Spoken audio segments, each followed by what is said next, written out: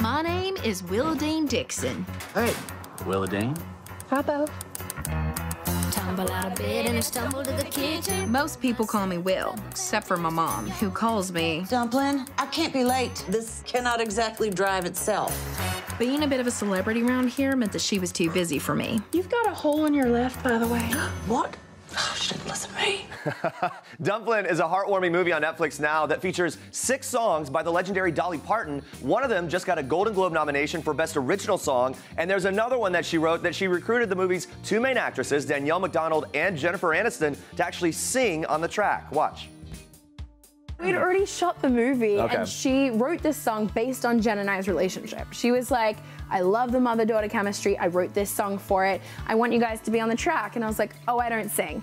And they were like, no, no, no, no, you'll just like be talking a little in it. And I was like, oh, cool, fine. So I show up, and then they're like, so you memorize the whole song, you're singing the whole thing. And I was like, no, no, no, That's no. very different. Like, that's, that's, no one said that. And I got it, yes, no, no, no. Mm-hmm. And then Jen's like, cool, I'll go first. And I'm like, well, if Jennifer Aniston is doing it, I can't not do Right. it. Like I, so then I went in So she- there. Yeah, leave it to Jennifer Aniston to set the bar pretty high, but that wasn't the only reason Danielle was nervous to sing. Dolly was there in the studio the whole time. You spiked the nerves and calm them at the same time because I was like, oh my God, you're Dolly Parton. You're listening to me sing and I can't sing. This is horrifying. Right, song that you wrote. Right. Horrifying, but at the same time, she's like, you've got this. Like, don't worry. Take all the time you need. Like, get comfortable. It's fine. Like, she was very, very sweet in that sense. And so eventually, eventually, like it took a while.